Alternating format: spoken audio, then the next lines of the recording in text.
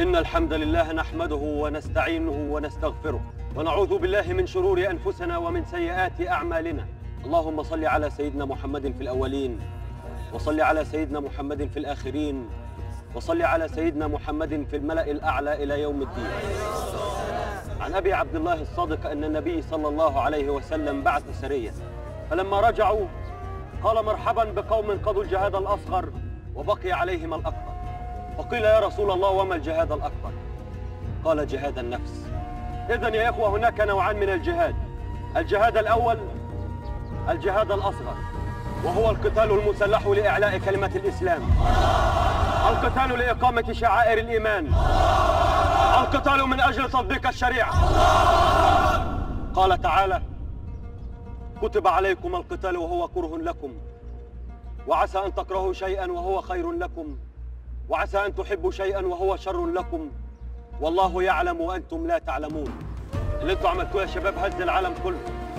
والداخلية عارفة ومتأكدة إن إحنا اللي عملنا كده. ومن المتوقع إنه ما يسحبونا واحد ورا التاني. معلش. الجرح اللي جرحناه للحكومة كان غويط حبتين. وأنتوا فاهمين كويس. مهما تعرضنا لضغوط مهما تعرضنا لتعذيب ما بنعملش غير حاجة واحدة بس وانتوا عارفينها كويس.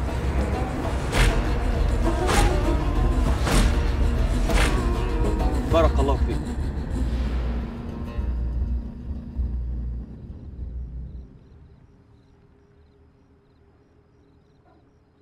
سعد. أوامرك يا شيخ خالد. أمال أخويا أحمد فين؟ بيحضر درس مع الشيخ مصطفى. فنحن لا نتكلم عن حكومة بعينها ولكن نتكلم على سبيل العموم. فمثلا عندما سئل الإمام أحمد عن المأمون وقال إنه كافر بالله العظيم صحيح الكلام ده يا شيخ مصطفى. الإمام أحمد لا كفر المأمون ولا أمر بالخروج عليه. وهل يجوز مقاطعة الإمام أثناء إلقاء الدرس يا شيخ أحمد؟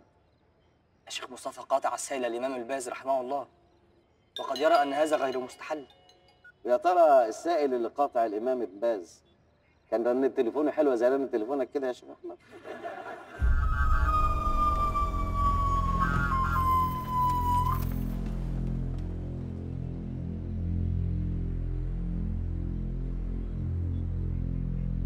اتفضل معايا يا شيخ مصطفى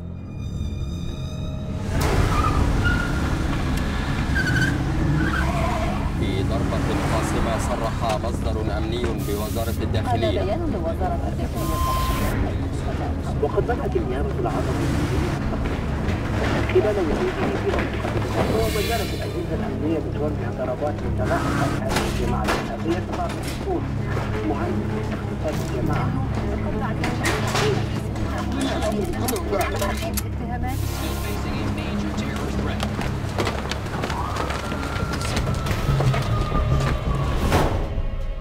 اتهامات عايز اعرف كلام ما بيتسمعش ليه؟ قلت من مرة مفيش دروس عند الشيخ مصطفى. لو كان اتقبض عليك واترميت في المعتقل كان إيه العمل دلوقتي؟ اشمعنى يعني خايف علينا قوي من دروس الشيخ مصطفى؟ مع إنه بيقدم 100 برنامج في التلفزيون. في ملايين بيسمعوه وبيستفيدوا منه. لو نفس الكلام اللي بيقوله الملايين في التلفزيون هو اللي بيقوله لكم في دروسه مش هيبقى عندي مشكلة. خالد أنت ليه مش عايزني أبقى زيك؟ وأنا بتمنى من ربنا إنك تبقى زيي. راجل ما بعملش حاجة في حياتي غير إني ملتزم. معنى كده إن الإخوة كلهم كدابين؟ ده انت هيبتك في الاخوه بقت اكبر من هيبة الشيخ عبد الله ذات نفسه. ليه محسسني ان أنا عيل صغير؟ سعد! سعد! امرك تاخد احمد توديه للشيخ سماح. ما تتحركش من هناك غير لما أقول لك. اقسم بالله ان انت مش قائد الجناح العسكري للإخوة. اقسم بالله أنا مش قائد الجناح العسكري للإخوة.